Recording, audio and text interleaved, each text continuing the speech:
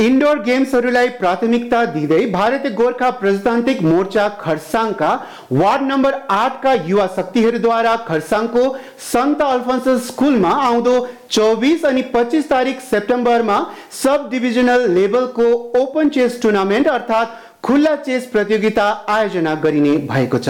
जसको लागि रेजिस्ट्रेसन आज उन्नाइस तारिक सेप्टेम्बरदेखि तेइस तारिक सेप्टेम्बरसम्म गरिनुपर्नेछ। बाह्र वर्ष माथिका स्त्री पुरुष सबै सहभागी बन्न सकिने उक्त प्रतियोगिताको रेजिस्ट्रेसन फर्म टिओपी नजिकैको केसर सप अनि हाट बजारमा अवस्थित सचिन वाच सपबाट लिन सक्नुहुनेछ। रेजिस्ट्रेसन फर्मको लागि शुल्क रहेको छ भारतीय रुपियाँ तिन सय अनि रेजिस्ट्रेसन फर्म लिन आउँदा भोटर कार्ड अथवा आधार कार्ड लिएर आउनुपर्नेछ। हामी नम्बर प्रजातान्त्रिक युवा शक्तिले ट्वेन्टी फोर्थ एन्ड दिन चेस अर्गनाइज हामीले अर्गनाइज गरेको कारण चाहिँ के हो भन्दाखेरि इन्डोर गेमलाई प्राथमिकता दिएको छैन अहिले यहाँनिर।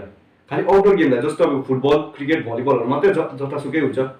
सो यो चेसहरू नभएको कारण बन्द भएको कारण पहिला पहिला तर नि आज लाइक दस वर्षहरू भएर निकै बन्द भएको चेस टुर्नामेन्ट अर्गनाइज नभएको। सो हामीले वार्ड नम्बर एटको युथले योपालि इनिसिएटिभ लिएर चाहिँ चाहिँ हामीले योपालि गरेको किनभने अब इन्डोर गेमलाई प्राथमिकता दिनु पऱ्यो अनि यहाँबाट चेस यो चेस टुर्नामेन्ट खेलेपछि कसले न कसले विजय राम्रो जितेपछि काहीँ न स्टेट लेभल या त कुनै लेभल पुग्यो भने यति राम्रो हुन्छ। सो हाम्रो डेट चाहिँ हुन्छ twenty fourth and twenty fifth venue हुन्छ हाम्रो यहाँनिर सेन्ट अल्फोन्सस हलमा सो हाम्रो टाइमिङ हुन्छ मर्निङ दस बजीदेखि स्टार्टिङ। सो जो जो पनि इन्ट्रेस्टेड हुनुहुन्छ कर- अँ, खरसाङमा सो उहाँले हामीलाई सम्पर्क गर्न सक्नुहुन्छ। हाम्रो सम्पर्क नम्बर हाम्रो मुख डिस्क्रिप्सनमा दिएको हुन्छ।